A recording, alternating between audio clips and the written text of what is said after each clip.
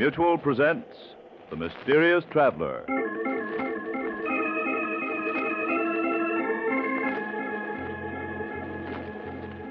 This is the Mysterious Traveler, inviting you to join me on another journey into the realm of the strange and the terrifying.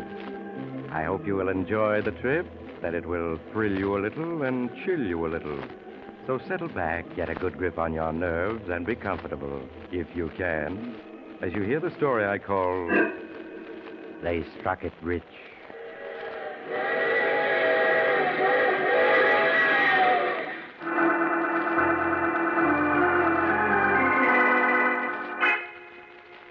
Our story tonight begins behind the high gray walls of a state penitentiary. It is early Monday morning, and Dr. Richard Worth has just taken up his duties as a newly appointed staff psychiatrist at the prison. As he sits in his office studying the medical records that have been turned over to him, there's a knock on his door. Come in. Sorry to bother you, Doctor, but they uh, just brought a prisoner from the warden's office for you to examine. Case of hysteria. Hysteria. That's what they said. Very well, Cook. Show him in. Okay, in here, fellow. That's a hot one, really a hot one. Me, Frankie Williams, on top at last. I'm a big shot. Here's his medical record, Doc. Well, thanks, Cook. That'll be all. Yes, sir. All right, sit down, Williams. Williams, sit down. That's better. Here, drink this. Drink this. Now, let me see. Frank Williams, age 34. Uh huh. How do you feel now, Williams? Uh, I'm okay now, Doc. I guess the news was too much for me. Everything's going to be all right now. You know what I mean. You take care of me, Doc, and I'll take care of you. I see. Williams, uh, tell me about yourself. What do you want to know? Well, anything you feel like talking about. Tell me about uh, your childhood. How you happened to be in prison. Well, when I was 14, I was sent to reform school for knifing a guy. When I was 18, I got a four to six year stretch for a stick up. Mm-hmm. Well, why are you in prison now? You mean you don't know? I'm afraid not. Doc, six years ago, my picture was in every paper in the country. I was famous. Well, six years ago, I was in a Japanese prisoner of war camp, so I'm not familiar with your exploits. Well, why don't you tell me about it? Sure, Doc. It all began back in 41, about a month before Pearl Harbor. I just gotten out of the big house on parole, and I managed to land a job as a sandhog on a tunnel that was building under the East River between Brooklyn and Manhattan. Well, one day I'm knocking off for work when I hear my name being called by the... Hey, Frank. Frank Williams. What's the matter? Don't you recognize an old pal? Marty! Marty Davis, how are you, pal? Swell. Hey. When'd you get out, kid? Two weeks ago. Parole, huh? Yeah. You working on this tunnel, too? Yeah, six months now. Huh? Frank, you're just the boy I'm looking for. Uh, what's up? Ever since I got out, I've been working on a little idea of mine. It'll take two guys, and the haul will be at least a hundred grand. Oh, nothing doing, Marty. What do you think I took this job for? I'm a three-time loser. One more rap and they'll send me up for life. Look, kid, ain't I in the same boat? I'm a three-time loser, too. And you ought to have more sense. From now on, I'm going straight. I'm not going to risk getting a life sentence. But, Frank, this idea of mine, it ain't any cheap stick-up. It's something big. And there's enough dough in it so that we can retire for the rest of our lives. Nothing doing. Ain't you even interested? No. They sure got you scared of that life sentence, ain't they? Yeah. So long, Marty.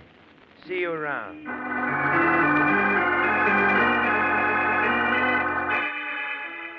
I left Marty standing there, Doc, and walked away. There's one thing you gotta say for Marty. He don't discourage easy. Day after day, he'd be waiting for me when I knocked off work. We'd have a few drinks together, and then Marty would go to work on me, trying to suck me into this big job he kept hinting about. Got so I took to avoiding him. And one night, while I was in a bar on the east side, Marty comes in and sees me sitting alone at a table. He pulls up a chair and sits down. Hello, kid. Did you hear the news? What news? Now that this country's in the war, they're going to stop working on the tunnel. You and me are going to be out of work in a couple of days. It's okay with me. I was getting sick of that job anyway. What are you going to do now? I don't know. Why don't you play it smart? throw in with me. I tell you, kid, this job I got lined up can't miss. That's what you keep saying. Frank, I feel so sure that if you knew what the job was, you'd go in with me. So I'm going to tell you about it. I ain't asking you to. I'll take a chance. While we was in stir, you remember me telling you about where I grew up? Yeah, on the East River up around 106th Street. Yeah, at Hellgate. I also told you about the way I was a sewerage pipe inspector for the city when I was a kid. Yeah, I remember. Frank, not many people know what the island of Manhattan is like underground. It's more than just a couple of subways. Why, underneath the streets are big gas mains, water pipes, electric lines, phone cables, and tunnels. And sewerage pipes big enough to drive a car through. What are you getting at? Kid, there's hardly a square foot underground this island that ain't honeycombed with pipes and sewers. And when it comes to sewerage systems up in my old neighborhood, I'm what you might call an expert. Okay, so what? Come on over to my room. I want to show you something. Yeah, what? You'll see. Come on. Let's go.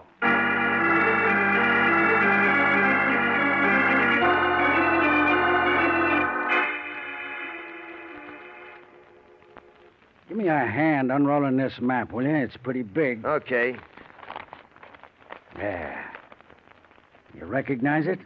Well, this is the East River, ain't it? And this is a section of Manhattan from 86th Street up to 125th Street. That's right. What are all these red, yellow, green, and blue lines on it? The red lines are electric cables. Yellow lines are gas mains. Huh? The green are water pipes, and the blue are phone cables, and the black lines are sewerage pipes. This is an official city map that I lifted. Ah. You were sure right when you said this island is honeycomb. Yeah. You see this place I got my finger on? Yeah? 106th Street and East River. That's right. But what this map doesn't show is that this is where the Hellgate Bank and Trust Company is. Hellgate Bank? Yeah. Oh. Now I'm beginning to get your idea. Look at this black line that runs into the East River. That's a big 10 foot sewerage pipe, and it runs past the bank, only 60 feet away. Uh huh.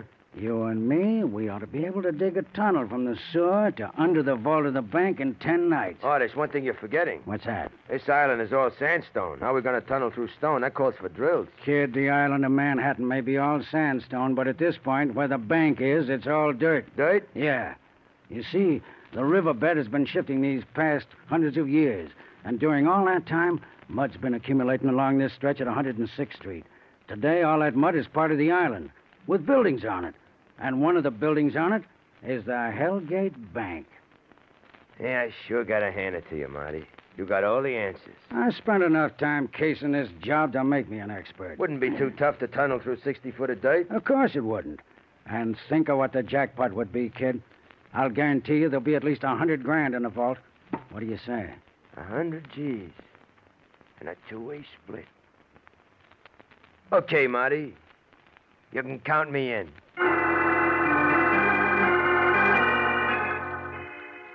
A few days later, Marty and me moved into a basement cold water flat a block away from the bank.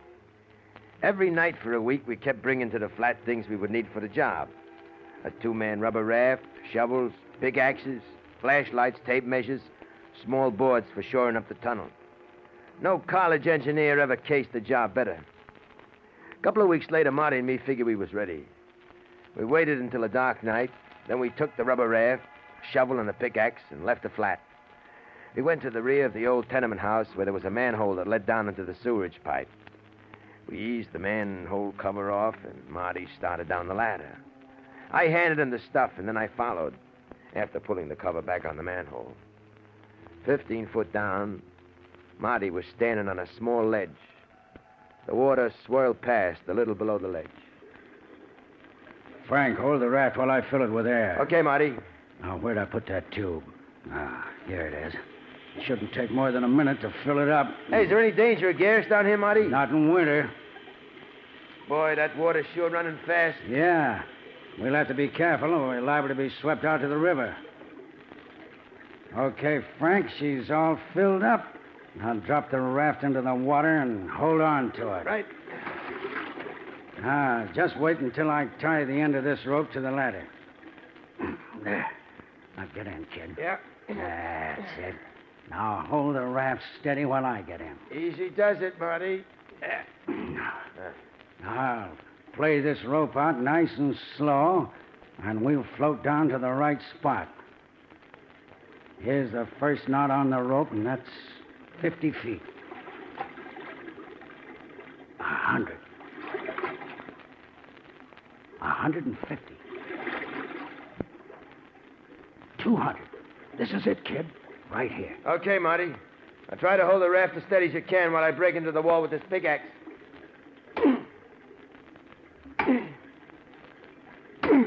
this is gonna be a tough job. Yeah. I feel as though my arms are being pulled off, trying to hold this raft steady in this current. I only hope that this rope I'm hanging on to don't give. We shoot out to the river. If it did, Are you coming? I'm getting there.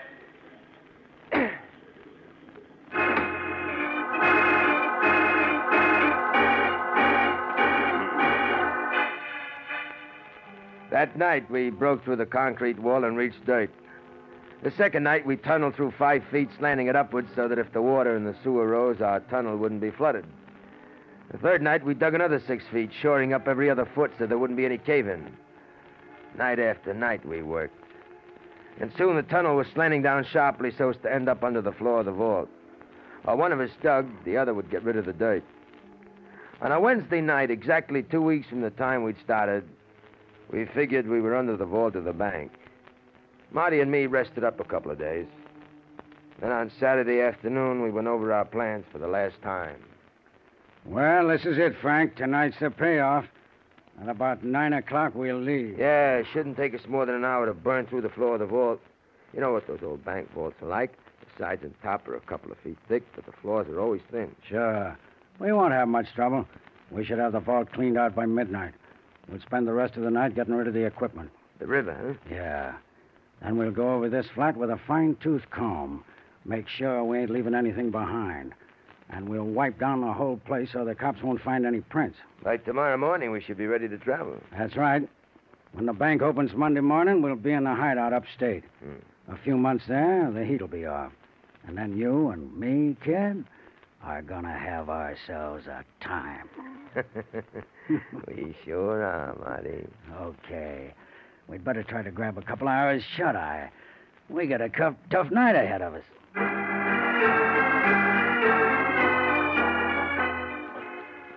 I hit the sack and tried to get some shut eye, but I was too keyed up to fall asleep. The hours dragged by, and soon it got dark. At nine o'clock, we left the flat. A few minutes later, we were going down the ladder into the sewer.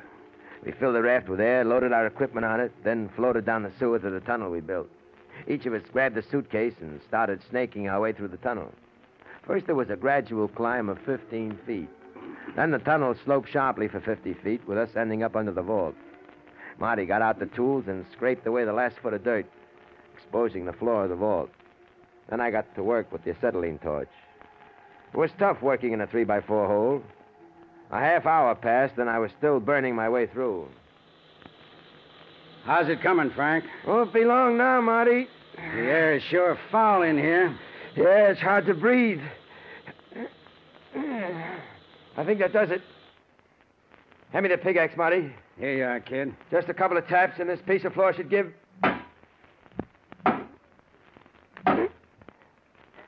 Here it comes. Help me ease it down. It's a pleasure. There. Okay, kid. Up you go. You got your flash? Yeah, I got it. Hey, Marty. I'm in the vault. They came up dead center. You sure had it figured out to the inch. Not bad for a guy who never finished the fifth grade. Come on, kid. Let's take a look at the cash drawer. Yeah. Hey, Marty. Look at it. The whole drawer is full of bundles of bills. There must be a hundred G's here. That's only part of it. Now remember, no new bills and nothing smaller than 20. Okay, Marty. I'll get the suitcases.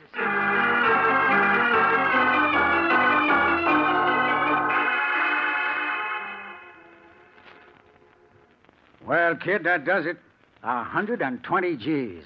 We couldn't cram another bill into these suitcases if we tried. Gee, Marty. Look at all this dough we're leaving behind. Yeah, I know how you feel. But this is as much as we can carry. Come on, Frank. Grab one of the suitcases and half the equipment. Okay, Marty. We're going to have a tough time hauling all this stuff back through the tunnel. You all set? Yeah. I lead the way. Make sure nothing's left behind. Don't worry, I've double checked. Okay, Frank. Come on. I'm coming.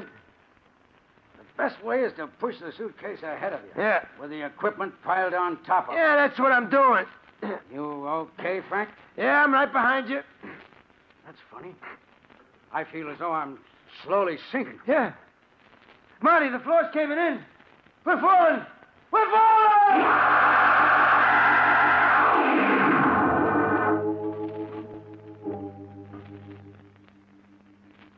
Uh,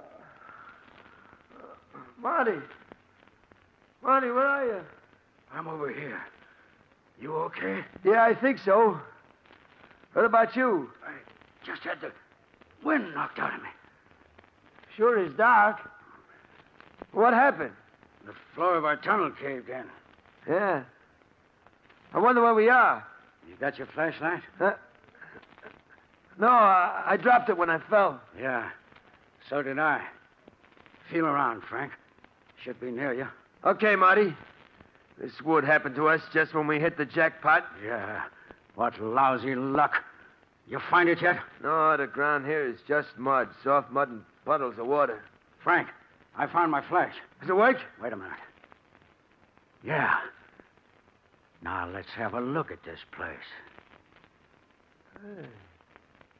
It's a small cave. Yeah, you're right. Wait till I shine the beam on the ceiling. Marty, look. There's the hole in the ceiling where we fell through. Yeah, that was a 30 foot fall. If we hadn't landed on mud, we'd really been banged up. Without a ladder, we'll never be able to reach that opening in the ceiling. Yeah, I know. Now, let's see what the rest of this place looks like. Hmm. Ain't very big, is it? There's nothing but mud walls. Marty, we're trapped. Take it easy, kid. It ain't that bad. We still got our tools, the torch, and most important of all, the dough. A lot of good that'll do us if we don't get out of here. We'll get out. Give me that pickaxe. What are you going to do? I want to see what this wall is like.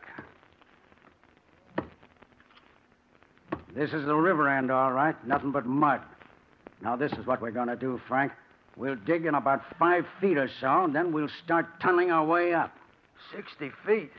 That'll take us a week. Well, I'm hoping we'll run into a shaft or something. It's our only chance, kid. Yeah, I guess you're right. Now, hold the flash for me. That's it. Now, shine it against the wall while I start digging.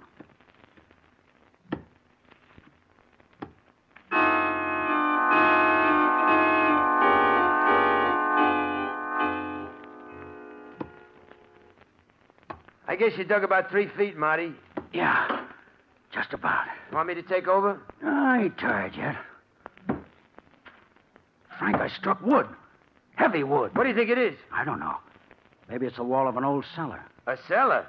This deep? Could be. Hold the flash closer while I scrape away the mud from the wood. Look, it's it's solid wall of heavy timber. It must be at least a hundred years old. See how rotten that wood is? Sounds hollow. I'll bet it's a cellar. You think it might lead up to some old building? Could be. Get the torch, Frank. Let's burn our way through. Okay, Marty.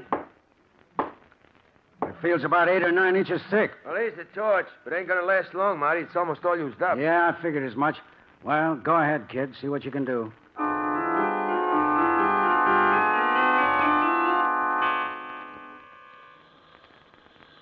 Yeah, just about got it, Marty. Good. Oh, there goes the torch. Uh, it's out. I will have to break in the rest of the way. Yeah, hold the flash, kid, while I use the pickaxe. That's it.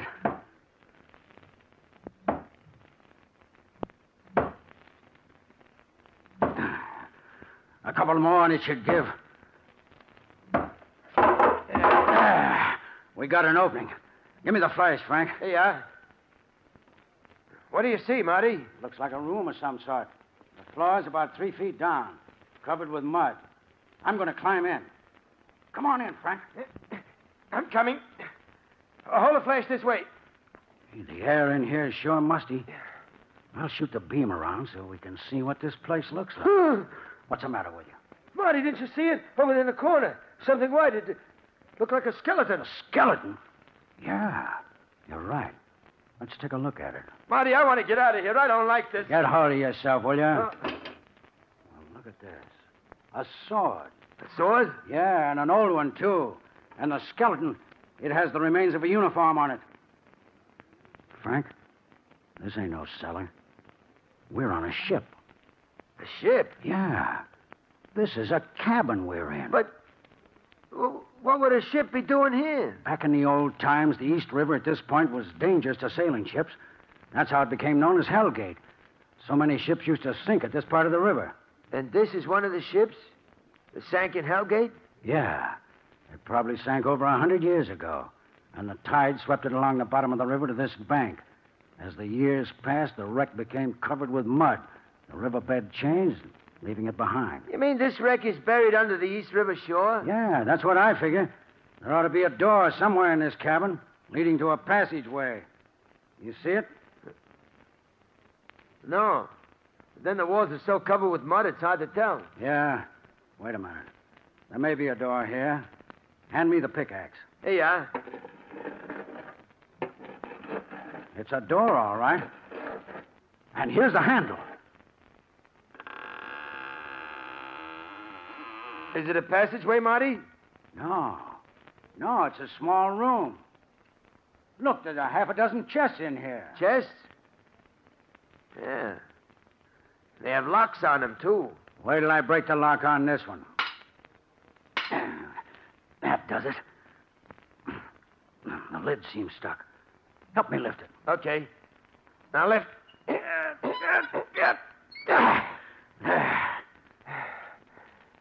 Hey, look. It's full of copper coins. Frank, these ain't copper coins. Huh? Look, scratch one.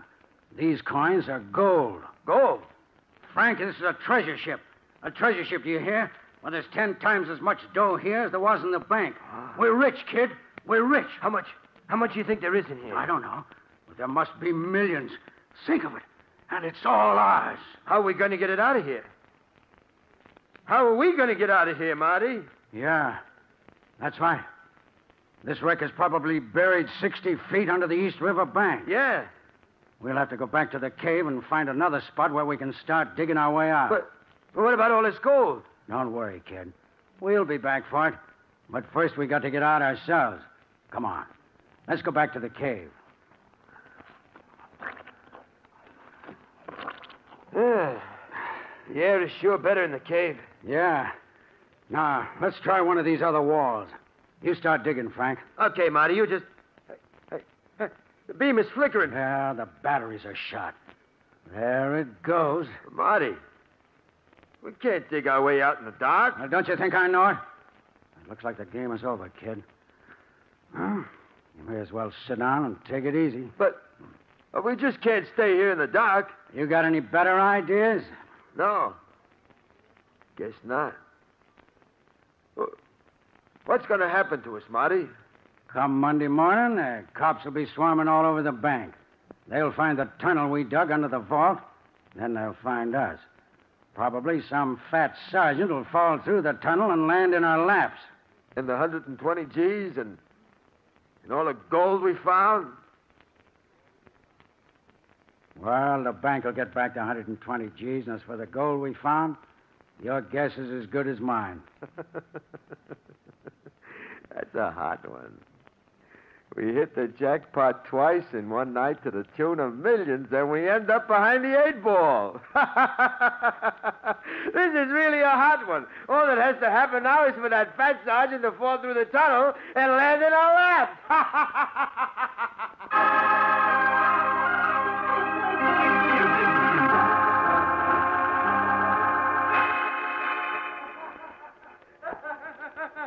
you know, Doc, that's just what happened. A fat cop fell through the floor of the tunnel and landed right on our laps. Ain't that hard? Uh, Williams, Williams, get hold of yourself. Now, get hold of yourself. yeah, yeah, yeah, yeah. I'm okay, Doc. I'm All right. okay. What happened after the police found you in the cave? Well, uh, Marty and me led the cops to the wreck. You, you should have seen their faces, Doc, when they saw the gold. Mm, uh. and the, the wreck you discovered, uh, what ship was it? You, you mean you didn't read about it in the papers, Doc? Back in January of 42? Oh, it was in all the headlines. I told you that at the time I was in a Japanese prisoner of war camp. Oh. Well, Doc, that wreck that Marty and me found buried in the mud was the British treasure ship Hussar, which sank in the East River at Hellgate on September 13, 1780. British treasure ship, huh? Uh, how much gold was it carrying? Million pounds in gold, Doc. That's over four million bucks. Four million. Yeah. The gold was sent over here to pay off the British soldiers who was fighting the Americans during the Revolution. I see. Marty and me heard all about it while we was waiting to go on trial for robbing the Hellgate Bank. Ah. I see by your record here you were found guilty and received a life sentence. Yeah, me and Marty both. The Hellgate bank robbery made us four-time losers.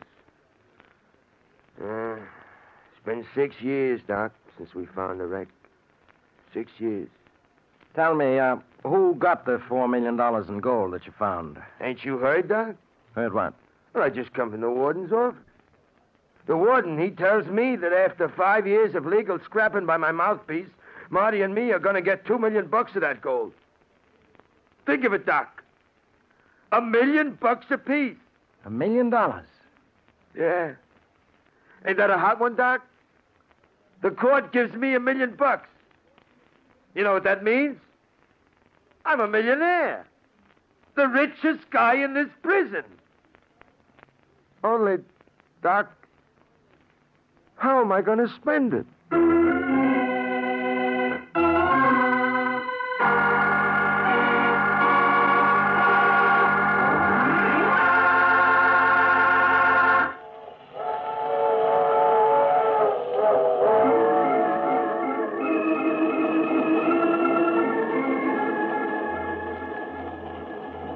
This is the mysterious traveler again.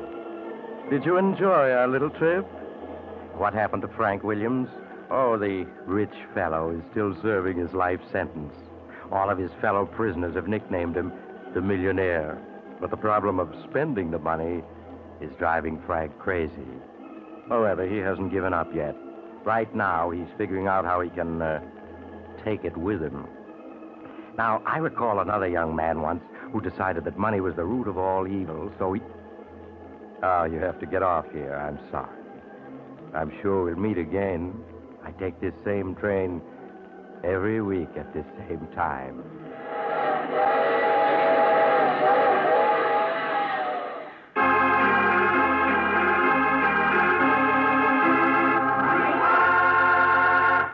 You have just heard The Mysterious Traveler, a series of dramas of the strange and terrifying. All characters in tonight's story were fictitious, and any resemblance to the names of actual persons was purely coincidental. In tonight's cast were Maurice Tarplin, Joe DeSantis, and Frank Thomas. Original music by Paul Taubman. Mysterious Traveler is written, produced, and directed by Bob Arthur and David Kogan.